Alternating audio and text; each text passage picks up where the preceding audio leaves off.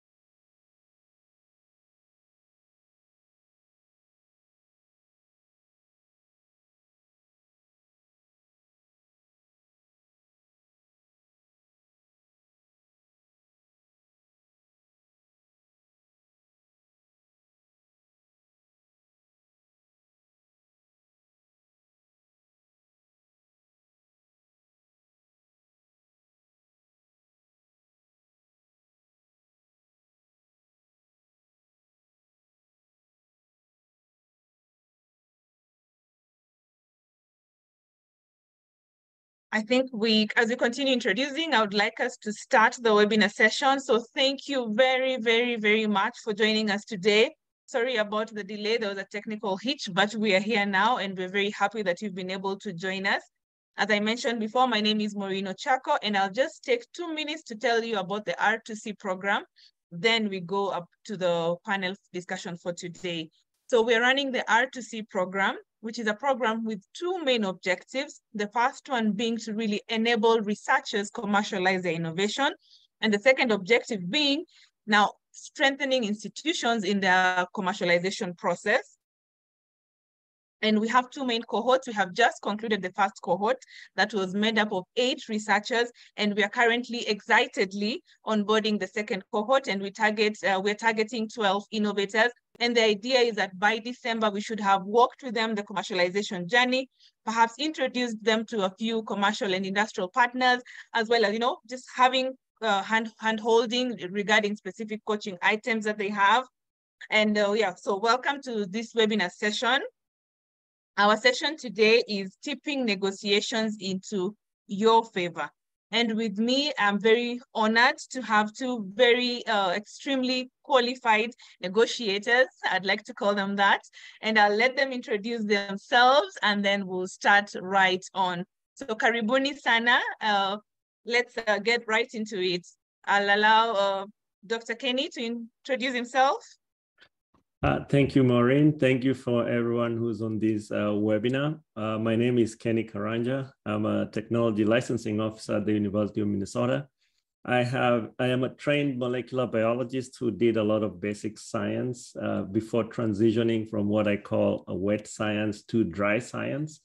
My current role is negotiating uh, agreements uh, for the University of Minnesota researchers and uh, working with them to transition their innovations, inventions, technologies uh, from the bench to the marketplace. Glad to share my uh, knowledge with everybody. Thank you.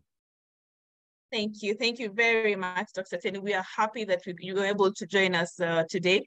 And I think for our participants, you appreciate that normally we have the webinars in the morning, but we had to cater for Dr. Kenny's uh, time difference, and we are happy that you've been able to join us.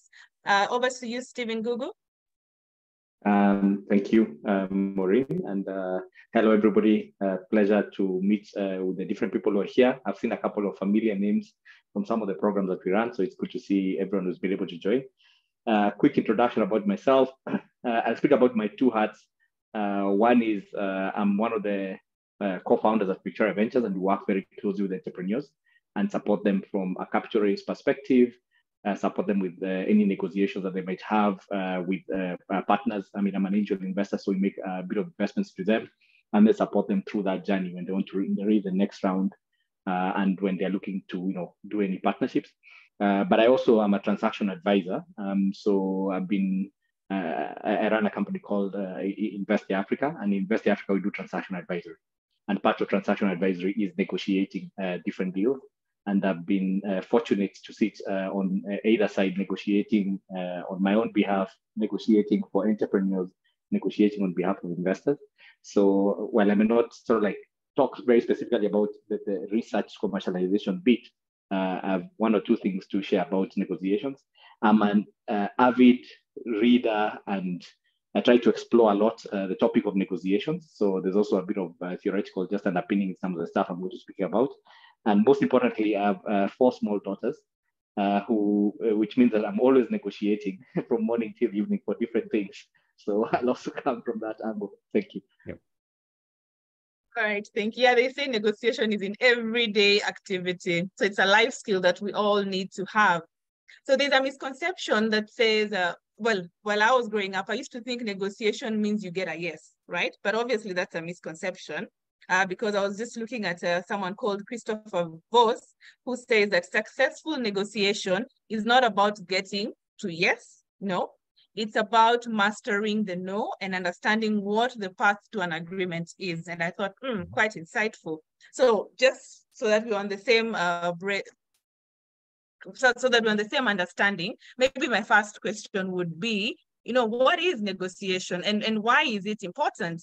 And we can start with the father of three three daughters, four, four, four daughters. So what is negotiation and, and why is it important? Um, yeah, I, I, mean, at the core, if you ask me what negotiation is, it's really just uh, when two parties or more are sitting together and they're trying to discuss or they're trying to allocate interest uh, on a topic that is important for them, right? So you're uh, talking about something that's important for you and you want to allocate different interests that uh, I'm going to take this piece, you're going to take a, a different piece uh, out of that. So at the core, that's just what negotiation is. And we're negotiating every single day uh, if you imagine uh, moves all the way from you know your spouse uh, you know at times you're just negotiating in terms of some house chores who's going to do something right so you have to figure out i'm going to do this bit you're going to do this bit you're negotiating with your i don't know someone that you work with uh, that uh, it's about how you work on a different on a specific assignment who's going to handle one bit that's a very, very simple negotiation you're negotiating uh, with a potential financier. So, I mean, uh, at, at the very simple point is just that you're sitting around a table, something that is of interest to both of you, and you're trying to then allocate interest in terms of what uh, you're going to take on the other person. Thanks. Mm -hmm. Thank you. And, and maybe to Dr. Kenny, right. why is this skill important? Right. Uh, yeah. So that's a good point, and I like the the examples you just gave that we negotiate every day because it is important for us to attain our goals and objectives and viewpoints. It's a we are mutually coming to an agreement. So being able to effectively negotiate enhances a number of things. It enhances your ability to problem solve it builds on relationships that you you already have or might have in the future because once you you get to a mutually agreeable uh, interest within your negotiations you still will have to build on that relationship going forward. So you're expanding your network.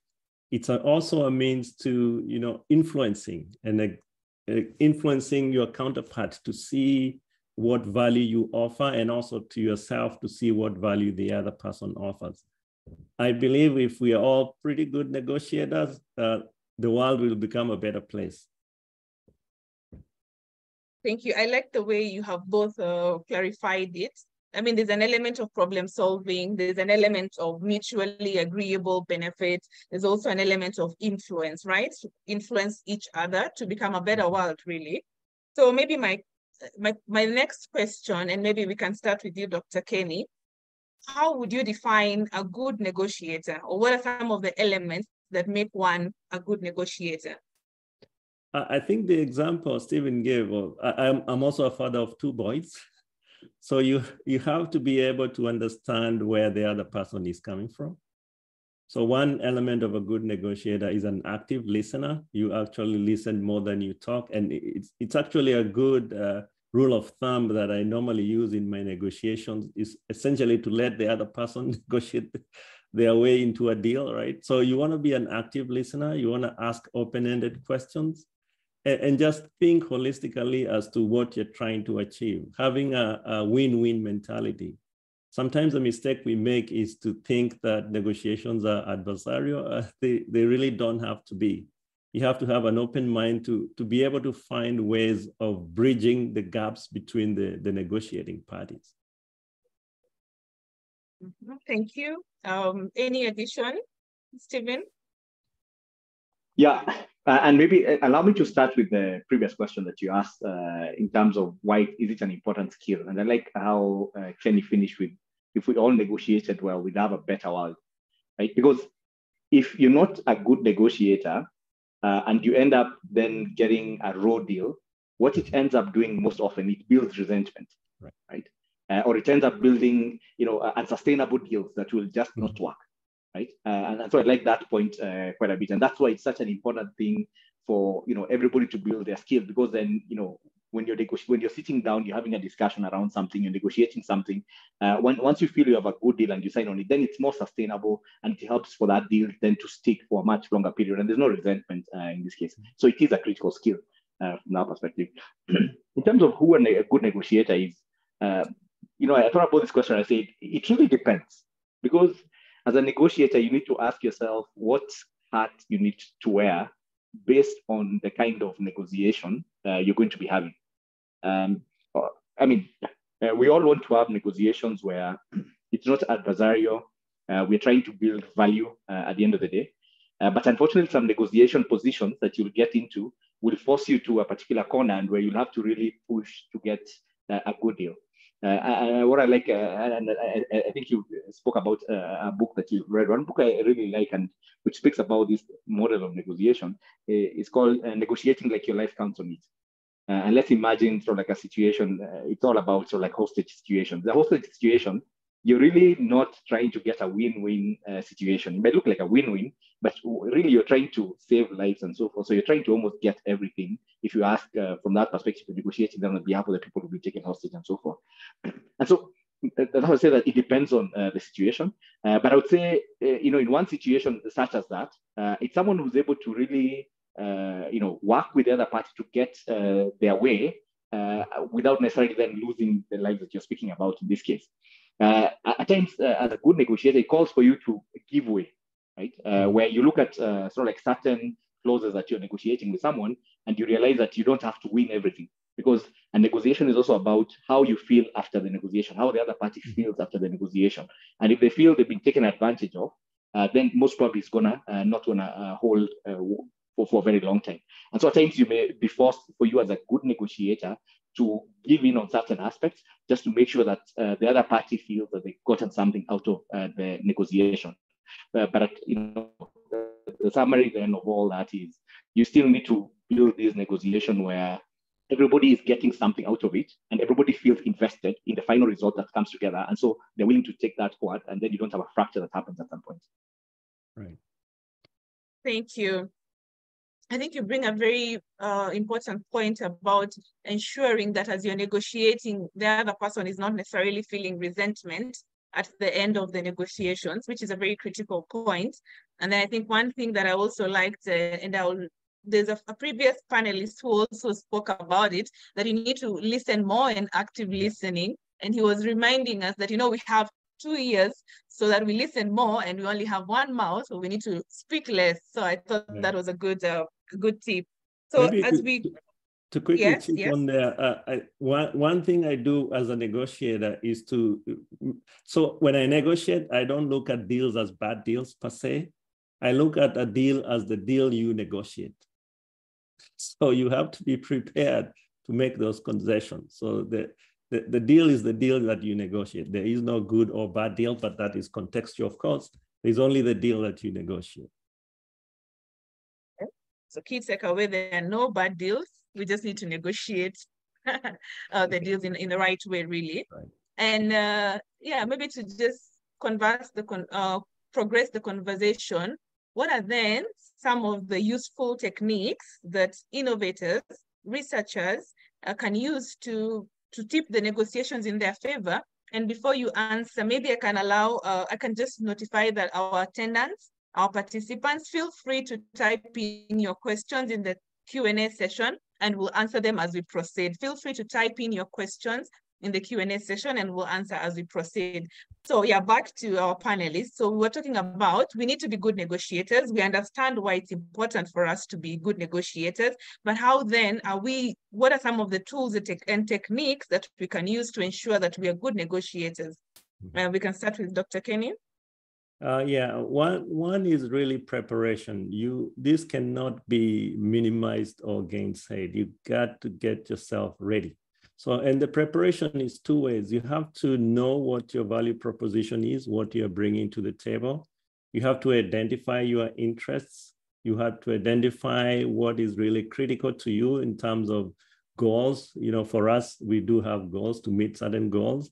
So you need to be prepared. And also on the on your counterpart, I, I don't call them opponents, on your counterpart, you need to know what they're looking for. If it is an industry or a company, you need to know what their pain points are. Uh, admittedly, you may not know all that because companies don't always divulge what their critical issues are, but you need to do your background and understand where they're coming from so that you can position your interests accordingly. Another thing I do is using some uh, negotiation tactics like uh, framing and, and uh, anchoring. So for example, when you are in a negotiation, position yourself positively. I give an example of, I, I, do a lot of pharmaceutical deals and every drug has, a, a, a, what are they called? Side effects, right? and the side effect can be you know 5% of the people die from taking this medication when you're negotiating you don't want to say 5% of patients will die right you want to say 95% of the patients will survive so the way you frame your negotiation and also using we instead of you you do this i do that how about we how can we accomplish this together uh, and anchoring is one interesting one that uh, there's a lot of uh, literature and conversations around it is who goes first in a deal? How do you, if you are the one in a negotiating position, if you're the seller or the buyer, who goes first? Who gives the term sheet first? So for me, what I normally do is if I know the value that I want, I will go first. If I don't know the value of my asset, because that happens, I let the other, my counterpart go first. The reason is that the number you give the, at the end of that negotiation, you will be pretty close to whatever number that was offered first. So if you know your value, go fast. You can go high and hopefully, but then that's where the uh, preparation comes in. You don't want to be too high that your counterpart walks away. And then the last one is uh, what I call tradables. And uh, Stephen mentioned earlier, exchange of value. You know, give the other uh, your counterpart something that may not be necessarily of value to you, but is of value to them. So those are some of the tactics that I, I, I use when negotiating. Okay, thank you. And we'll, I'll come back with a follow-up question, but allow me to also uh, hear from Stephen. What are some of the techniques that you use and have been very useful for you as you're negotiating? Yeah, I, I think uh, Kenny has mentioned a number of them, and I really like the idea of uh, prepare, prepare, prepare, right? Uh, because a negotiation is often won. I'm using the word won, but uh, you, you, you often get the best deal based on the amount of preparation you put into it, right? And it's a different aspect that uh, you know you've spoken about. But I would say just a few more things that uh, would be useful is you know create rapport. Right? when people feel good, when people are in a good mood, they are more likely to, you know, uh, have a better negotiation with you than in a situation where it's antagonistic. And so just the idea of just, you know, understanding who's coming to negotiate, what's their background, uh, you know, what are they interested in, um, and just making sure that, you know, you start from a good space. You know, I've been in situations where people start from a very bad space where then people take very hard positions and then it becomes very hard to move them uh, even an inch uh, because there's uh, there's almost a certain level of mistrust where people are assuming that you know you're trying to take advantage of me, and so I have to cover myself as much as possible, right? So I would say just that idea of creating rapport in terms of understanding who's there, you know, spending a bit of time just getting to know people before you get to the actual nitty gritty of what you're going to be negotiating. Such an important uh, point. There are sort of like uh, I know it's a technique, but this whole idea of leaving room uh, to make concessions. Right? So when you walk into a negotiation, the idea is that you don't come in and give your final offer on the first day, right? right? Uh, and I always say that negotiation is like dating. You know, you don't come uh, to your partner and say, "This is what I want. This is what I want. This is what I want." You sort of like uh, move towards that over a period of time through different sessions uh, from a negotiation, uh, from a conversation perspective. And so you want to make sure that uh, you, you, know what you want, uh, which is maybe in this case it's your, um, you know, the, the, the, what you're looking for. Then, but you, you also have a uh, a best case scenario that, you know, if this could happen, then I'd be happy with this, which then gives you a certain room for coming back and making concessions if concessions then are needed uh, in this case, and often they're needed. Um, on the point of uh, research uh, and sort of like preparing yourself, it's also good to think about what are the authoritative standards, right? So for instance, if you're negotiating with your institution, for argument's sake, uh, it would be good to ask what have other institutions done? Because just coming in and saying that this is a kind of negotiation, I'm happy with a certain uh, you know corporate out there, uh, you're looking for some uh, specific deal. It's good to ask, have they done previous deals of this kind of nature? What did they agree in those deals? Do you know other corporates who've done something similar? because then you have authoritative standards or you have something that you can if someone is pushing back and say we know for sure that this is workable because it's been done in this situation and this situation and this situation because just asking for things in a negotiation is not enough you have to uh, be able to back those things with uh, research and with facts in terms of uh, what's out there so maybe that's uh, some additional aspects but i would say you know the core one is just uh, prepare gather as much information uh, information is the currency for any negotiation mm-hmm. Thank you. Uh, thank you very much. I think I'm hearing, you know, a lot of techniques that we can use. You know, there was a conversation about how you frame your value proposition, so to speak. Do you say 95% or do you say 5%? Then there was also the conversation about anchoring, which I want to follow on. Uh, I think that's the example you were saying that uh, if, uh, I think it was Dr. Kenny who was saying that if I know my value, then I'm, you know, I'm very outright with it. But when I'm not uh, sure of my value, then I, you know, somewhat dilly dally.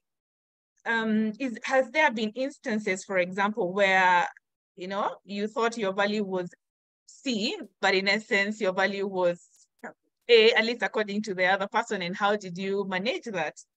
Yeah that that's a good question. I always approach that as whatever you're offering is as good as the, your counterpart is willing to pay for, right? yeah, if you overvalue your asset, then you might not get your a buyer. If you undervalue, then you will end up with a bad deal. But remember, it's a deal that you negotiated. So it's a number of points that Stephen made, uh, like knowing what the industry standard is for whatever asset you're trying to negotiate right? Because they, there are certain bounds, there are certain uh, parameters over time. So those are like market-based valuation, knowing what the value of your asset is. So you don't go too high and you also don't go too low. And the communication bit is also important because it's the, the number that you quote may not be necessarily the main thing that is of interest. You could be going for, say, as a researcher, for example, you could be going for sponsored research. Maybe you want uh, a company to sponsor research in your lab. So just going for that plain value may not be the key. You can ask for other things. And that's why we talk about tradable or concessions. Don't go with, with, with, uh, with a position, right? That you really can't move from that position. You want to go in with interests. And how do those interests get addressed by whatever uh, anchoring uh, opportunity that you have? Thank you. And I think you, I would also marry with what Stephen was saying that, you know, he's been to negotiations where people have come, you know, ready. Both parties are, you know, fists are ready to, to negotiate. I don't know if that's really a negotiation or it's a, yeah, it's a different uh, conversation. So I think that was also very good. And I think also uh, Stephen talked about uh, creating rapport and I think that's just the value of networking and just becoming friends even before you get to that point of negotiation, whether it's friends or acquaintance, but just creating that rapport. I thought that was also pretty useful. And then I think you also talked about the element of benchmarking. You know, if you're not sure, mm-hmm. just find out what the market is or what other people within the, with, with the same context are actually doing. Yeah. So thank you for that. Thank you. I think now the next just question... to I just want just yes, to add uh, one aspect uh, to the question that you asked, where you come in and you know what you're proposing for is very different from the other uh, party, and I think for me, I always say have a rationale or that as to why you're sort of like asking for something. So let's assume it's a valuation, right? So if it's a valuation, you've checked what, um, and here I'll speak about a typical transaction. You've uh, thought about what are the multiples that are employed in that uh, sector that you're in? Maybe it's a multiple of sales, assuming there's some sales which are happening, a multiple of uh, the EBITDA or the profit and so forth, right? And you've done your own research to see what's the source of that. And so when you walk into a negotiation, you will have a multiple that will say, I'm thinking about a multiple of 10 times the EBITDA for argument's sake, or five times the sales for argument's sake. And so when someone comes and you sort of, assuming the sales were a thousand, five times a thousand is uh, 5,000, and the person comes and tells you that the expectation is a thousand, rather than having a conversation about, no, it should be 2,000, it should be this amount, then the issue, you should ask, you know, what's the rationale? You know, how did you arrive at this price? And then you're not uh, necessarily arguing on positions, but you're trying to understand where someone is coming from. And you might find that you're coming from very different positions. And maybe the thing you need to, uh, to, to, be uh, addressing in this case is where someone is coming from rather than what the, the final position that someone is at. So just having a clear rationale as to why you arrived at a particular position is usually very useful because then you can have a more intellectual or more value-based conversation once you sit down across the table. Mm Thank you very much. I think that was a very useful tip. Sorry. Um, yeah, um, again, maybe uh, to use Stephen, just to progress the conversation. So as a researcher, how would you, as a researcher or an innovator, how are you able to identify and leverage your strengths when you're now having commercialization negotiations? So now we're, you know, focusing on now research or innovators. So how would a researcher uh, be able to leverage their strengths in their conversation regarding commercialization negotiations? Yeah, uh, thanks for that. And I guess there's two there's two angles here, and I'll speak from our own context first of all. And our context is that uh, probably the first negotiation as a researcher that you need to do is with your institution sort of like agree in terms of you know what kind of stake are you going to get out of you know licensing in this case what's go what are going to be the fees and so forth and whatever the licensing agreement looks like uh, that's the first step before then you even uh, go outside and I would say that, uh, that uh, for for, uh, for for our researchers who are within different institutions, I think the first fight has to be in terms of how the, the, the policy from an institution uh, looks like. because if you have a good policy that is very clear in terms of uh, how the numbers look like, then it makes your work very easy because you know uh, what are the bounds uh, that you're able to negotiate in between. But if that is not if that's not structured well, that already hampers you in terms of just the step one of that uh, kind of uh, negotiation, right? So for me, I think the first thing is make sure that the policies that are being put together, you know, are fair or reflect the reality in terms of what should be happening, um, you know, internationally and locally in this case. So I, I, think for me, that's the first thing. Uh, but when you're going into the market, uh, I think the one thing that uh, I would want to speak about, how do you leverage your strengths, is that number one, have your ducks in a row. You know, uh, if you've already uh, put together, you know, your IP documentation is very clear. Uh, you've already sort of like, um, you know, the incorporation from if it's an organization, you've already incorporated and so forth. Some of those small things help a lot in terms of just making sure that the negotiation then runs smoothly because you don't have small things that people can start saying, "Yo, but you haven't done this, but you haven't done this, but you haven't done this." Right? That's one. Uh, and I would say the second thing is, uh, at least as far as I'm concerned, is traction. Yeah. Uh, I find that uh, when you're starting out and you don't have as much uh, traction in your whatever your innovation is and what you're trying to like to negotiate with a corporate on the other side, whether it's a partnership, uh, whether and I'll use some of the examples at least that I've encountered where we've had startups that go to Safaricom for argument's sake, and they want to negotiate uh, you know, a rev share for a particular thing where they want to access Safaricom users and they're going to have a rev share with Safaricom in this case. Now, if you come and you have proper traction uh, and you tell Safaricom that's why you have this number of users who are coming on board uh, and this is our product, uh, this is how you know the competitive advantage from a product perspective, etc. Then you'll have a different conversation from when you're coming and tell Safaricom, you know, we want to access only your users, we don't have as much traction, etc. And there's a couple of issues, right? So just building on your traction uh, helps a lot in terms of giving you more leverage uh, when you're having that kind of uh, negotiation. Um, I'll stop there. Uh, the other one I would say is the research bit, but uh, I think for me the biggest thing is uh, you know that that traction helps a lot to have that kind of conversation. Right. Thank you, Dr. Kenny. Yeah, uh, good good points. And as a researcher, you, I, I look at these two ways, and it fits to Stephen's point that the, the two things you're looking at is your own personal capacity to negotiate. If you really are not familiar with this field, uh, please seek help. Go to people like uh, Stephen who have transactional uh, experience. Find someone who can negotiate on your behalf. But then on the other hand, if you want to do it yourself, then uh, hopefully this webinar gives you some uh, capacity to do that or, or, some experience and, and, and points the way to doing that.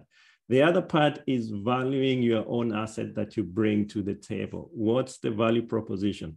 What's the traction for that? Have you done some customer development? Do you think that this is a, a technology that can solve a problem or it's a technology that is seeking a problem, right? You want to be able to frame what you're offering in, in a way that your counterpart can visualize that thing solving their problem. And that is where you have the value exchange. An example I often give uh, to researchers, you, you, know, you can uh, sell an elephant for a penny, right? And I might have the penny, but I have no need for the elephant. So make sure whatever you're offering is packaged right and effectively, effectively communicate that value to your negotiating counterpart. The other thing that comes to mind is uh, job interviews. They always ask you what is your weakness, and a lot of people, you know, they meander about weaknesses. They don't want to say what it is. So when you're evaluating your your uh, technology towards uh, commercialization and negotiation, you want to have a BATNA. BATNA is, is essentially your weakness. What's the best alternative to a negotiating uh, a, to a negotiated agreement? And that allows you to walk away. If you can't get anything better than your BATNA, then you may as well get take your BATNA and walk away, right? And at the same time, you want to have what is called a zone of potential agreement. What's the range of opportunities and numbers are you okay with while making uh, a deal? So going into a negotiation with those, I, I believe it sets you up to, to negotiate that deal that you negotiated, right? and and you walk away not feeling uh, uh, unfairly, but uh, unfairly uh, taken advantage of. But on the other hand, we have we are communicating with people, so emotional intelligence is critical. You want to have a high EQ going into these conversations, and they are not personal. It is really not personal. I know there is emotion in it. I know it's your research baby, but you, be uh, cognizant of the fact that the, your counterpart may not understand where you're coming from. So you, you need to have that conversation. Yeah, thank you. I like uh, the illustration you're talking about. I may sell an elephant for a penny, but if you have no need for a, uh, an elephant, it doesn't matter. Okay. So I think both of you are bringing out very good points. And then I think there was also a conversation of, about seeking help, about, you know, understanding your research research innovation and knowing how to value it, having a range, ensuring that there's a bit of traction, you know, competitive advantage. And then I think also the, again back to the conversation about, you know, rapport before you get to the point of negotiations. So what I'm wondering is, as an innovator, as a researcher, how am I then building, how do I build this rapport? Obviously it's over time, but what are some of the things that I can do to build my rapport with my commercial, potential commercial partners, potential investors, potential financiers. Uh, shall we start uh, with uh, you, Dr. Kenny? Uh, sure. Yeah, a lot of that is really making connections and networking. Uh, and one thing I always say is you are negotiating at any time. At the beginning of this conversation, we said you, you are a father, you negotiate. You're a wife, you negotiate. You're a teacher, you negotiate. You're a customer, you negotiate anytime you're having these interactions in your day-to-day uh, activities, you want to be cognizant of that fact. Listen to what the other party is. And, and, and in this context, uh, I'm looking at it not when you're already in a negotiation, but prior to getting to a negotiation. So build those relationships, understand what your market is, uh, be attuned to the problems that are around you. And and part of that is those conversations you can tailor them to understand the the interests. So in the so for us in academic research there's a lot of uh, generating new knowledge without really looking at the outside world and what that outside world looks like so part of making those interactions in your daily activities would help you because as we are talking about value proposition, you will use that information to craft and message whatever you're trying to, to get a deal around. Thank you. I can see Stephen is nodded. Would you like to add? Yeah, maybe what I would add, and I'll, borrow just from uh, fundraising, right? Uh, what you what you want to do is you want to ensure by the time you're coming to the table, people know you they know about what you're speaking about, and they form the, the opinion you want them to, to form, right? The opinion you want them to form about what you're doing. So if you're you know, if your product is solving a specific problem and it's a market leading product and so forth, if you're able to just get to a point where there's some information out there, maybe there's a blog that you've been maintaining, there's some updates that you've been sharing with uh, in, uh, with potential uh, partners in this case, uh, where they're able to just tell this is the traction that you've been able to make or this is where you're at. That helps a lot in terms of just building that, that rapport. And back to the point that uh, Dr. Henry mentioned about anchoring but then people view in a particular point so that when you come and ask for certain things, they already are in that frame of mind uh, where they're more, they're in a position where they can hear you better, they can uh, give you what you're looking for uh, in this case. The other thing that I think is really important is asking who introduces you to the party that you're going to uh, sit with on the other side, right? And one of the things you hear very often from uh, at least investors in this case is that the person who introduces you really matters. If someone calls me and it's a fellow angel investor, it's a VC that I really respect, tells me, what, uh, Dr. Kenny is doing this thing, you have to invest in that. It's really awesome. Uh, just listen to him. Or, you know, Maureen is a really good founder. Please listen to her. She's doing some really cool stuff. That by itself sets the frame in terms of how we're going to have the conversation. But if I get a cold email, I don't know who you are, where you come from, and uh, you know we don't have any rapport and so forth. I just get a cold email you know, uh, you're a 50-50, right? Uh, if you're sort of like thinking about it. But when there's a warm introduction that you're 90% or 70% already in, and you just have to prove the other 30%. So I think uh, also just uh, asking yourself when you're getting into negotiation, who's bringing you to the table? Who do you know who can, uh, you know, create the context for you so that as you're sitting across the table, people already have a certain perception of you that helps to move the negotiation forward. I think that has been a very eye-opening statement for me as well. I mean, when you go to a networking event, you don't necessarily think who's going to introduce me because that then creates perception. So I like that, uh, Stephen, you brought that up. And I think even as an innovator, as a researcher, when you're going for a networking event or when you're going to just meet with potential financiers, we need to be very conscious about the perception created even before we start the negotiation. I think that has been a very useful tip for me uh, as a moderator even and, and maybe to just uh, again continue the conversation. So how uh, I think one of you mentioned uh, understanding the other person's pain point and knowing how to negotiate or, or present your value with the language that they, they need to hear, right? Uh, so my question to Stephen would be, I'm an innovator. I understand my goals are here. My goals are A, B, C, D, but then the financial commercial partners goals are a bit different. How do I sort of marry marry the two goals to ensure that we're speaking this the same language? And maybe before you answer, just again a reminder to the participants, feel free to type in your questions in the Q&A session. Uh, thank you. Over to you, Stephen Gugu. Yeah, uh, thanks. Um, I think what you want to do is to, okay, number one, just do your research in the sense of spend time on the website, spend time on the Twitter pages, the LinkedIn pages, and see what the company is talking about. If they have a vision, if they are, if a listed company, they have an annual report that they speak about what are the some of the things, what are their vision, where they're, where they're trying to go and so forth, right? And that may seem very far-fetched, but you pick out certain uh, things in terms of the values of the company, the vision, what they're trying to achieve, uh, that you can be able to, uh, you know, marry it with what you're trying to do, right? If not, uh, you know, LinkedIn is a very useful tool, right? For reaching out uh, to people in, in, different institutions or, you know, asking someone for introduction and sitting down with people before you go into the negotiation and asking, you know what, we, we have this product, right? And I'll go back to sort of like the conversation I was having about uh, Safaricom and, and we've also had some other conversations with other uh, corporates. Uh, and the whole idea is you're sitting with someone and you're saying, I have this thing, and I know you guys are interested in this space. What angles are you guys looking at uh, in this case? Right? Uh, we were working with a large uh, media company that was interested in making deals with uh, different uh, startups in the media sector.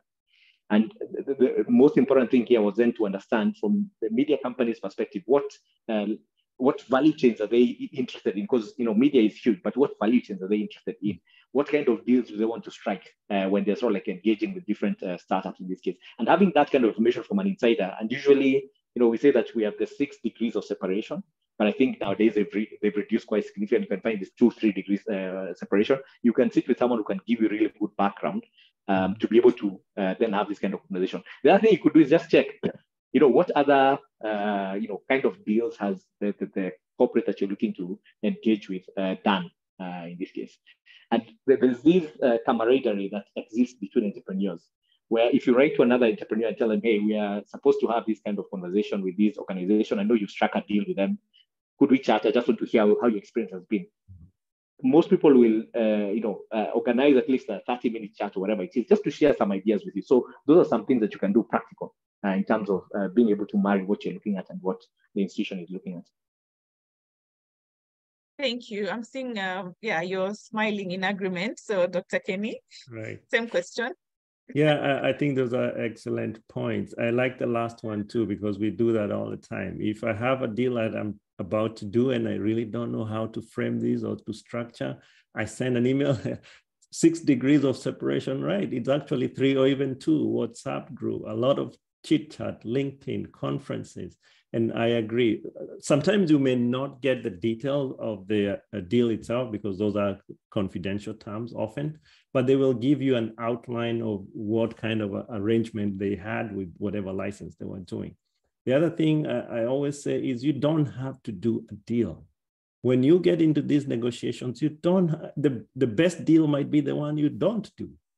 So always have that at the back of your mind that you don't have, if the deal just doesn't meet your parameters, just walk away. Look for some, there are very many fish in the sea, so they say, right?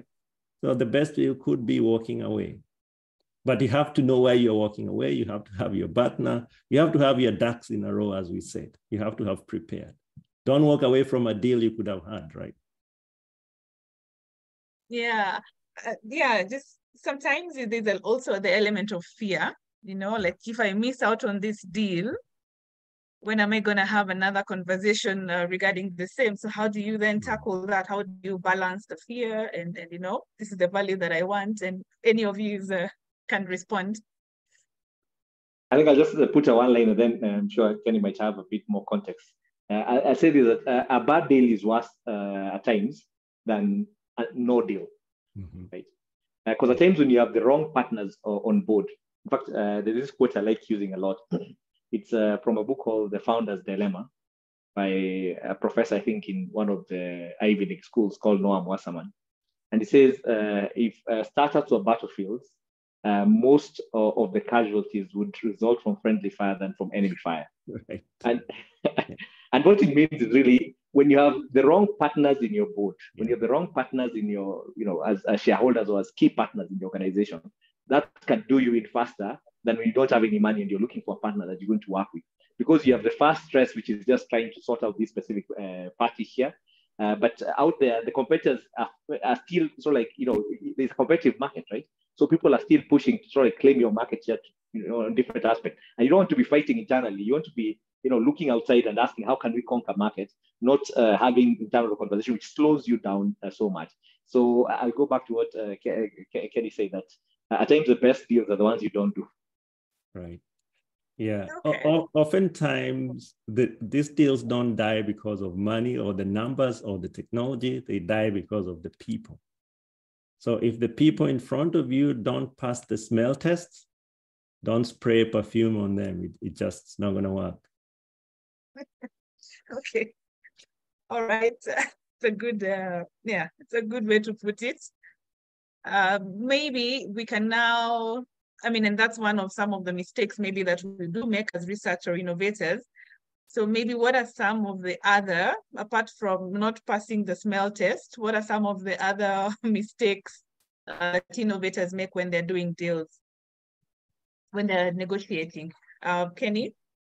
Yeah, uh, one thing I always say, never negotiate with yourself if your negotiation comes to a point where you are the one giving concession after concession, it's time to walk away. That's just the bottom line. Just say thank you, thank you for meeting you, have a good day, and just walk. Don't negotiate with yourself. For every concession that you give, try to get, and here get doesn't mean you are enforcing a position, you're getting something of your of interest to you. It's not that you must get, so every concession, try to get something. So the way I frame this is if I'm negotiating uh, an agreement, I say, you know, if you do this, then we will do that. And I use we because it's a team. I don't want it to be like it's about me personally. it's we. Make sure you, you, you kind of contextualize that as, uh, as a win-win, so to speak. So, so failure to have a BATNA, best alternative to a negotiated agreement, always have a point where you will walk away. It is not personal, right? The, the price, the, the money is good, it's attractive, but it is not always the thing that kills a deal, as I mentioned previously. Always contextualize and understand what you want when you go into a negotiation. So those are the main ones that I always, the negotiating uh, against yourself is the main one. Sometimes that one sneaks up on us, especially when your negotiating counterpart is doing piecemeal uh, concessions. They, they ask for this, and then two days later they ask for something else no, that's you will end up negotiating yourself. Negotiate the entire package, hence the preparation. You know what you want, you have an idea of what your counterpart wants, and have that whole thing as one deal. Don't nitpick. And once you've agreed to that this is it, we are done, then the, that's it, it's done. Don't come a week later and ask for something else, or the other person asking for something else. That's the territory you're getting into negotiating against yourself. Okay.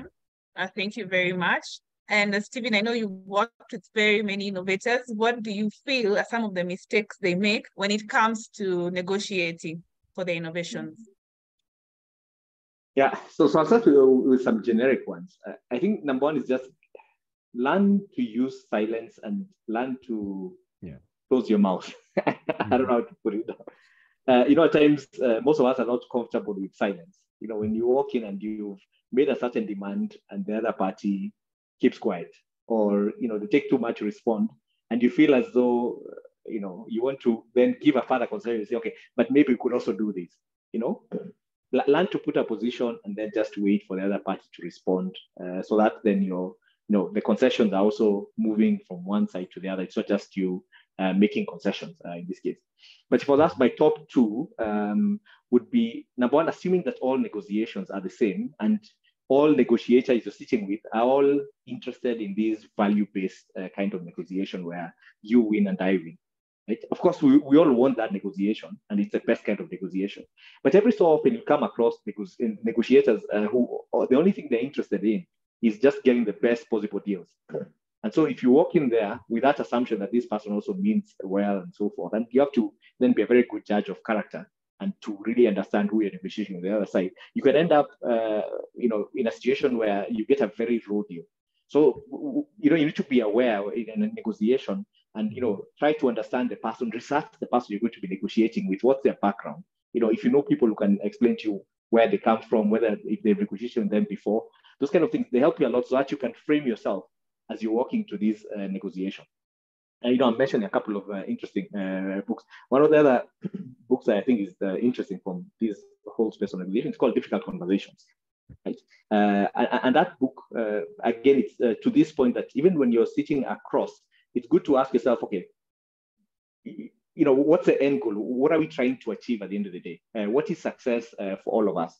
Because at times we don't think about that. We get sidetracked by small things uh, which are happening in the course of the negotiation. We don't ask ourselves, what's the final deal? What's success to us? You know, it's good to define that very clearly so that even as you're moving along, the small things that you may not like that you can do with uh, as you move towards then uh, this uh, end goal. I think the other, the other one I'm going to throw in here is called, uh, no, no, is not relying on experts. You know, one thing I ask uh, entrepreneurs or innovators is how many deals do you think you're going to negotiate in your life, right? Of this kind of nature. And most often it's one or two or three at most. Then the other party that sits on the other side does this on a day-to-day basis. That's their bread and butter. So I ask them, who do you think has an upper hand in this negotiation? Right? And most often, the person who's perfected the art of negotiation, even if you've gone for classes and so forth, they, they understand this space really well. So at times, it may be time for you to just say, you know what, uh, let me go in with an expert. Let me sit with an expert who's going to be able to frame things. Because most often you, you might think that uh, you've got, in fact, I'll use a specific example. The, the founder of one of the companies in Kenya called Pesapal, he always jokes that uh, some of the deals that he negotiated very early were not really good deals. And if he looks at the value of the company today, and let's assume Pesapal is worth 100 million uh, for argument's sake, right? And he could have gotten an extra 5% uh, equity, but he didn't because he, did, he chose not to use a negotiator. 5% of 100 million uh, would be uh, 5 million bob, right? Uh, but maybe the negotiation would have just costed uh, a small amount of cash in this case. So at times you don't realize how the small negotiation that you're making today are going to affect the final output five years, 10 years uh, from today. When you're looking at the deal and you're looking at where you're at and ask yourself, was it worth to save this amount of cash um, or should I have just gotten an expert? So I, I think those are the two put in. All right, uh, thank you very much. And I'm seeing the time is really running after us, so chasing us. So I'll just uh, go to the last question and then uh, if there's any question from the participants, then we'll be able to respond to it. Uh, but now the last question, as you give also your parting shots, would be how, what's the differentiating factor when you're negotiating with a very big firm, the Safaricom ZTC, versus a small, uh, a smaller uh, firm? What are some of the things that you can to do's and don't do's for, or what's the difference really between negotiating with a big firm as well as a small firm? Um, Stephen? Um, I think the first thing is that, uh, of course, uh, the processes are very different in big organizations, and it's good to understand what's a process. You know, uh, you know, do they have a, a I don't know a, a, committee that sits to approve? Before that, how many more steps do you, do you need to go through? So it's good to understand that process uh, because with a smaller, so like uh, I guess a farm in this case or partner, uh, you probably just end up meeting with the core principal on the other side and you have a negotiation and you bed that down. So it's good to understand uh, that uh, process and because that will help in terms of knowing uh, you know how to frame things and at what point the, ne- the negotiation will be closed and who's the final uh, decision maker.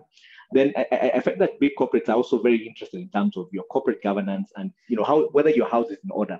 Uh, over and above whether or not whatever you're negotiating on makes sense, they want to understand there's no tax liabilities, you know, you have certain standards that you're sort of like uh, abiding to, you, you, know, you have certain policies you've put in place. So they expect you to have a, your house in order in this case.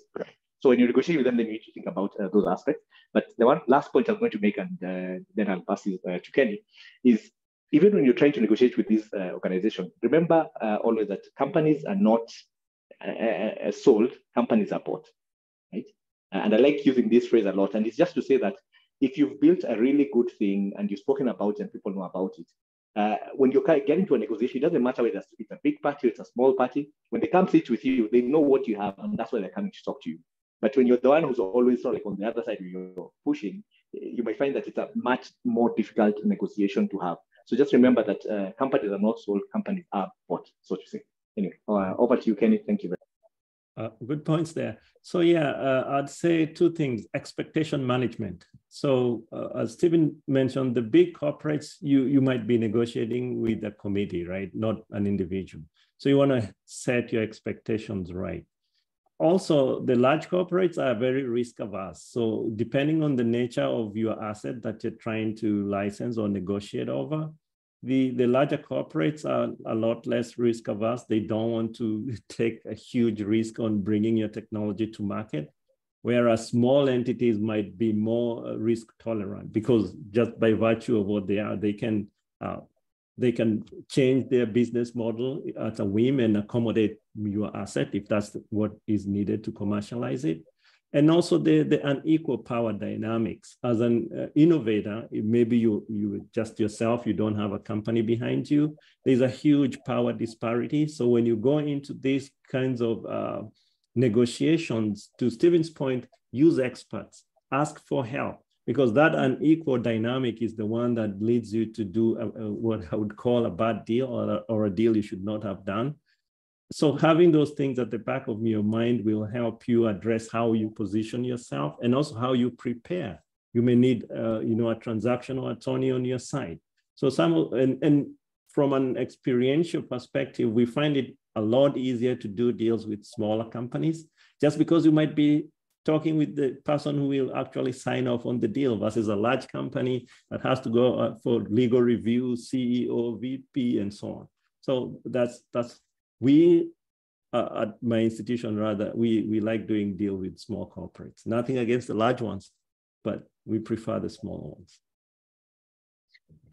all right uh, thank you so much for your thoughts maybe i'll just give you 30 seconds each to give your closing remark and then i'll just go through a few of the key points many key points that i have here and then we can close uh, shall we start with you kenny your parting shots Yeah, my parting shot is don't do not be afraid. Uh, let fear be your friend, right?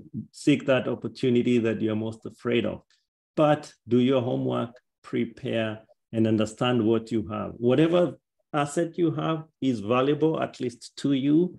So your challenge is to see if it is valuable to somebody, to someone else. Also, when you, you enter into negotiations, don't do positions, do interest. So make sure you know what your interest is and accommodate uh, your, your counterpart. Seek help. And, uh, and I think it's a lot of fun, I have to admit. You, you, you get, it's a conversation. So if you like people, be ready. Oh, and the final one, emotional uh, intelligence. Don't be upset.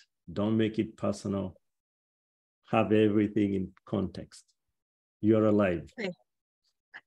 You're alive. Thank you. Thank you. Thank you. Thank you very much. I think over to you, Stephen. Yeah, uh, so for me, two things, and very much uh, in summary. Uh, number one, make sure you speak to multiple parties. Uh, don't just go with the first option that you get, or don't have only one option as you go into a negotiation. It helps a lot when you've been talking to different parties and the conversations are going on. Uh, and that's the point around BATNA where you know that if this doesn't work, I have a couple of others. And just knowing that at times helps you to put your uh, position much uh, better. And then the second one is negotiation is a skill that you can improve on, right? Uh, and all you have to do is just be deliberate in terms of uh, you know putting yourself out there to negotiate different aspects. Uh, and I remember from uh, my business school days, or like 15 years back, one of the key things my professor kept saying is that after every negotiation, sit back and ask yourself what worked well, what didn't work well uh, and then improve on the things that didn't work well. And just by doing that continuously and learning a bit more the different uh, texts that we're talking about helps you a lot to improve, and then you become a, meta, a much better negotiation as you move along. Thank you very much. All right. Uh, thank you so much, uh, Stephen and uh, Dr. Kenny, for joining us. Just through some points that I have covered, uh, that I have written down based on the di amazing discussions we have had. Of course, we defined who a negotiator is, but when you were talking about, you know, what are some of the techniques, what are some of the do's and don'ts, I think what came out was you need to first prepare. You need to do your thorough research on what your value proposition is, but also understanding the other partner, the other person's pain points, and being able to speak that language. Identify your interest and your position. I think there was also a conversation about, um, you know, some of the techniques that were highlighted. Then there was the element of framing. Then there was anchoring. Then there was tradables then just having a room for concession as you're negotiating. And then I think uh, Stephen also talked about uh, creating a rapport, and this is an ongoing experience. Keep on creating a rapport, and even as you're going to that networking event, remember who introduces you matters because then that the influence, the perception of people have, uh, you know, about you. And then also there was an element of, you know, be an active listener, talk less, ask open-ended questions, and importantly, also, I think both of you have again mentioned that you need to seek for technical expert, technical help to help you through your negotiation. You need to have your value proposition very well. And even as you're negotiating, I think this, this came up from the mistakes, be comfortable with silence, you know? Just give your ask and then it's okay to be silent for a few seconds. And then there was also a, um, a discussion about don't negotiate with yourself and then nego negotiate as a piecemeal, no, not as a piecemeal, but rather as a whole. And last but not least, uh, there was also uh, the expectations management. And I think uh, I would like to pause there. It's already four minutes past the hour. But thank you all very, very much. And maybe we can just appreciate our panelists for today's session. We can clap or just uh, give a reaction uh, for them taking their time to join us for this session. Those are very, yeah, just that you can't hear them, but I think our panelists, are, our participants are very happy that you've been able to share your knowledge, you've been able to join us. Uh, thank you very, very much. We hope to see you all next month. We have another, we actually have a webinar on the 29th of June this is about uh, financing for your innovation and another webinar next month. Hope to see you all on the 29th of June from 11 to 12 hours East African time. Thank you very much and have a lovely evening. Have a lovely day, uh, Dr. Kenny.